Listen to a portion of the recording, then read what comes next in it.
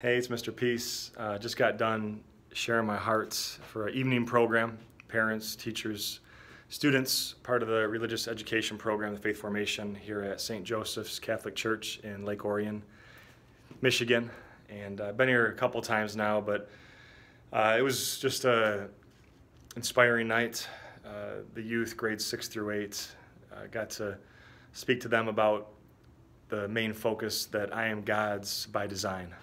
And what that really hones in on is like the shirt here, the miracle on the front, worthy on the back. It's like the M etched on all of our palms. And Isaiah 49 says, I've engraved you on the palm of my hands. The lines of our hand have letter M, upside down, obviously, W, and that's for worthy, that we're worthy of love to give it and receive it. And once we understand that truth, sometimes we forget that, and know God's beautiful love for all of us, then anything is possible. And I'm in front of the quote up top here with men, this is possible, women, but with God, all things are possible.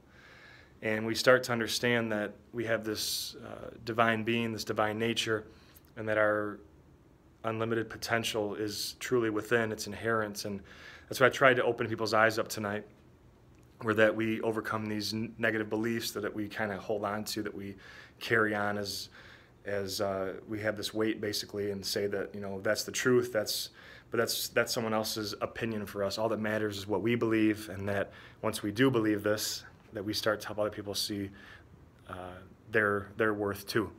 And we, we, become the light to their heart and hopefully choose to do that right?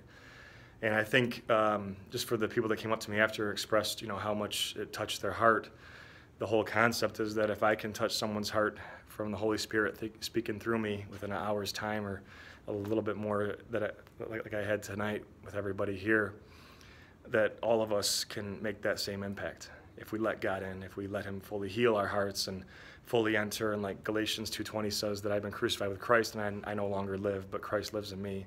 Meaning, yes, we are still alive and still breathing, but at the you know when we really think about this at the simplest level that the more he enters us, the more we become like him.